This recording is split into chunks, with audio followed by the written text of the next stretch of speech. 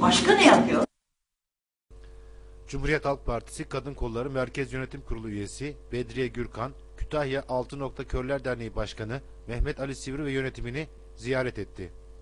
Ziyarette Cumhuriyet Halk Partisi Kütahya İl Başkanı Mehmet Akif Gün ve yönetimi de hazır bulundular. CHP Kadın Kolları Merkez Yönetim Kurulu üyesi Bedriye Gürkan, Kütahya Altı Nokta Körler Derneği'nde yaptığı açıklamada ben burada engelli kadın, CHP Kadın Kolu Merkez Yönetim Kurulu üyesi ve görme engelli birisi olarak Türkiye'de kadın olumsuz ayrımcılığa uğramakta, kadın ikincil bir konumda bulunmaktadır. Engelli kadın ise katmerli bir ayrımcılıkla, cincilleşmeyle karşı karşıyadır.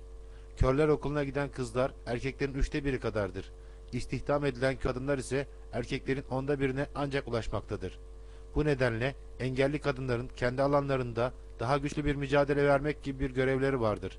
Görme engelli bir birey olmak, ülkemizde son 10 yılda daha da güç koşullarda yaşamayı, eğitimden, istihdamdan, toplumsal yaşamdan uzaklaşmaya getirmiştir.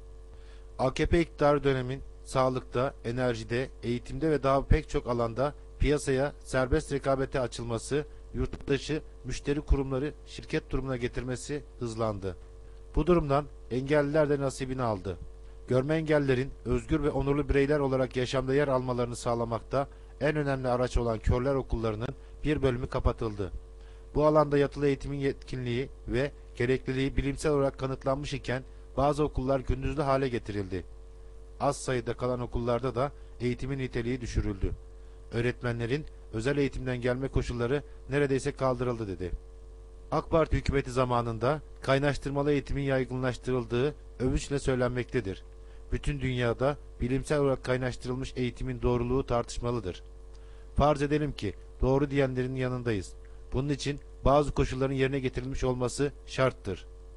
Lisede normal öğrencilerle birlikte okuyacak olan görme engelli öğrenci kabartma yazıyı, bilgisayar kullanmayı, bağımsız hareketi körler okulunda tamı tamına öğrenmiş olmalıdır. CHP Kadın Kolları Merkez Yönetim Kurulu üyesi Gürkan, AKP iktidarının hep yaptığı bir şey vardır. Bir algı oluşturur, sonra o algıyı yönetir.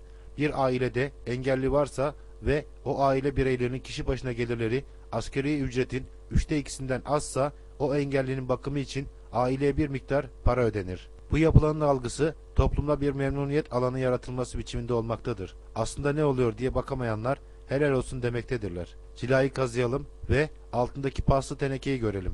Böyle bir paranın verilmesi engelliyi eğitimden, istihdamdan, rehabilitasyondan, toplumsal yaşamdan koparmakta, onu asalak ve cahil bırakmakta, onurlu, kendine yeten, ayakları üstünde durabilen bir birey olmaktan uzaklaştırmaktadır. AKP'nin kadına bakışını, onun insan haklarından yana olmayışını bir kez daha kanıtlamaktadır. Bütün dünyada kabul edilmektedir ki engellerin bakımı sosyal devlet anlayışıyla ele alınır ve devlet bu yükümlülüğü üstlenir.